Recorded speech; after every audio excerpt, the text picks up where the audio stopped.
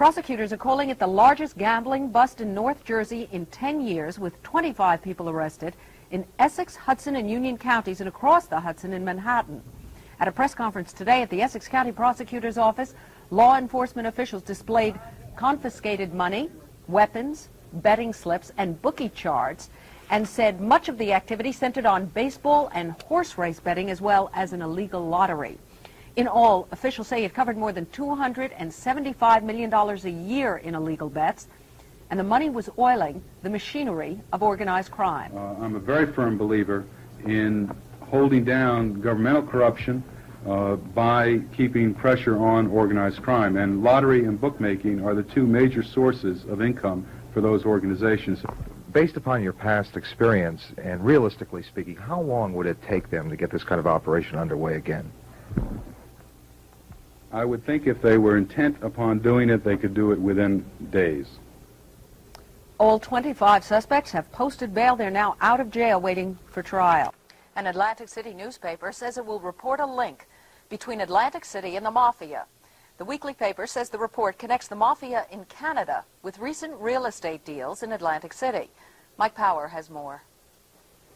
The Atlantic City Sun says the mob figures have bought at least 120 parcels of land in what is known as the inlet section of Atlantic City for possible resale to casino developers. The inlet is Atlantic City's ghetto. The Sun says the deals are being put together by Angelo Pucci, who is described as a close friend of Toronto mob figure Paul Volpe. The paper says Pucci, in turn, is using a local man and a real estate company, which is under investigation by the State Real Estate Commission. The Atlantic County Prosecutor's Office says it's aware of Canadian mafia interest in the area and is monitoring real estate deals. A proposed master plan for Atlantic City calls for casino development in the inlet beginning in 1984. Earlier this week, the Canadian Broadcasting Corporation televised a three and a half hour documentary on organized crime, which included clandestinely filmed conversations in which Volpe and Pucci talked about investing in Atlantic City. In Trenton, I'm Mike Power. Indictments were handed up today against Bergen County Democratic Chairman Vincent Rigolosi, former State Bar Association President Donald Conway, and State Police Sergeant Joseph Lazaro.